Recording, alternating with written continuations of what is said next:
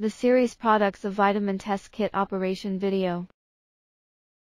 Take out the vitamin test kit from the refrigerator before use. Sample preparation. Weigh out 1 gram homogeneous milk powder sample to a 50 milliliter sterilized centrifuge tube. The sample size can be increased or decreased according to the vitamin content in the sample. Add 40 milliliters sterile water or deionized water to the centrifuge tube, which contains the sample. Please note, the sterile water here needs to be prepared, and the one in the kit should not be used. Vortex to mix the sample well. Then extract the sample in the 95 degrees Celsius water bath for 30 minutes. To ensure heating uniformly, the liquid level of the water bath shall be flush with the liquid level of the sample, and should not exceed the centrifuge tube. Make sure the centrifuge tube is sealed, and mix it every 10 minutes. Rotate the mixture gently, not flip over the mixture to prevent liquid leakage. Take out the sample after 30 minutes and cool it down to 30 degrees Celsius rapidly. Cooling can ensure the accuracy of follow-up sample pipetting. This action cannot be omitted. Dilute the sample in the clean bench. Dilution factor calculation. Using reasonable dilution factor can ensure the sample concentration falls within the standard curve and ensure the accuracy of the test. Dilution factor can be calculated by taking the concentration of the sample divide by standard 2. Mix the sample first. Then filter it with 0.22 micrometer sterilized filter and collect the filtrate. Dilution process Follow the arrow to open the cap of the sterile water bottle. Take off the cap and place it upright. Calculate the usage amount of sterile water and add it to a 2 ml sterile centrifuge tube. Then vortex to mix the filtrate well. Add proper amount of filtrate into the centrifuge tube. For a 400 fold dilution, please proceed in a gradient of 10 fold dilution, plus 10 fold dilution plus 4 fold dilution. After completing each dilution, please vortex to mix the sample well to guarantee the accuracy of dilution. Each dilution step needs to be thoroughly mixed before the next dilution. Diluted samples must be freshly prepared just before use. To avoid the contamination, the whole dilution process should be operated by the encircling method. Keep in mind that the dilution process should not be operated directly above the sample. Standards preparation. Take 6 sterilized centrifuge tubes. Open the cap of the standard vial, place it upright. Add X milliliter sterile water provided by kit to the standard vial. Cover the cap and vortex the standard to ensure it fully dissolved. This is the standard stock solution. X milliliter is listed on the label of the standard vial.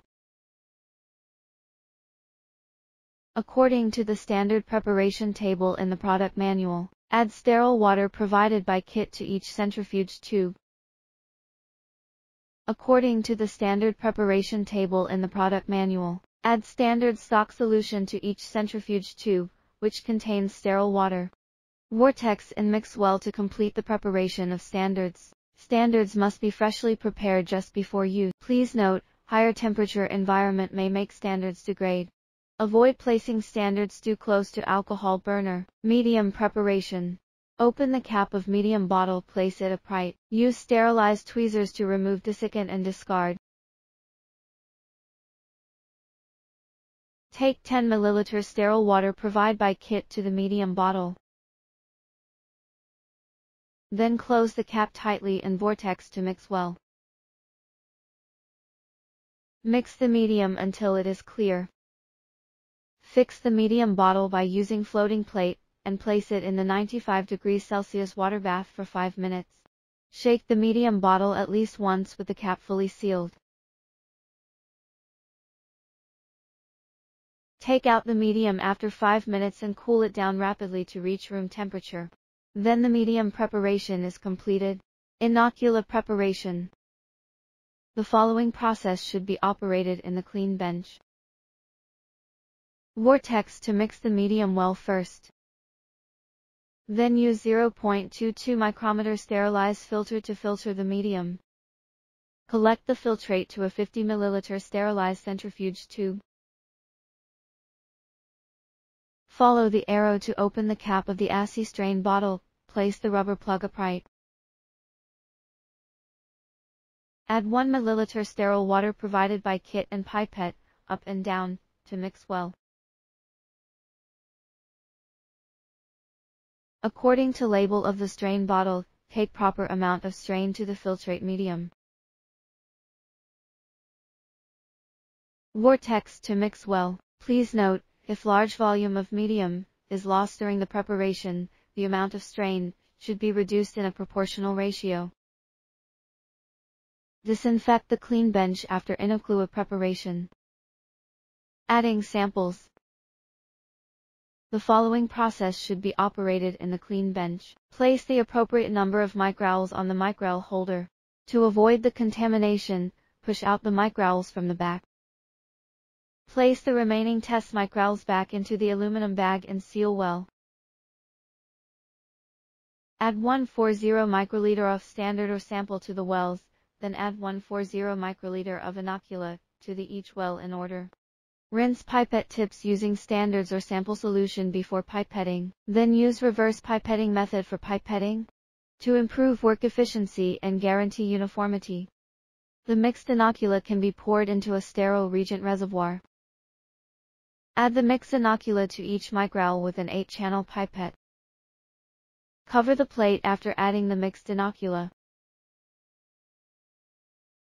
Flatten the cover film by hand or tongue depressor to ensure the air tightness of the cover film and microwells. Make sure that microwells are completely sealed with the cover film. Otherwise, the air will enter the medium and change the amount of dissolved oxygen, which will affect the growth of the strain. At last, clean and disinfect the clean bench. Incubation Incubate the microwells at 37 degrees C for 44 to 48 hours and avoid light exposure. Please note, please read OD values using the microplate reader immediately after incubation. Otherwise, microwells can be stored at 4 degrees Celsius for no more than 48 hours before reading. Read and calculation. Take out microwells from the incubator. To prevent the strain from sinking in the bottom, gently tap the plate back and forth to mix the inocula. The mixing should be gently reversed without drastic shaking to avoid generating bubbles, which will affect the accuracy of the reading. Then, fix microwells on the microwell holder with one hand and remove the cover film from the top right corner with the other hand. If there are bubbles, use the pipette tip or the firm tip to puncture. If a large number of bubbles are generated, they can be sucked out with a pipette, and be careful not to suck the inocula. Read the turbidity using a microplate reader with 610 to 630 nanometer or 540 to 550 nanometer filter.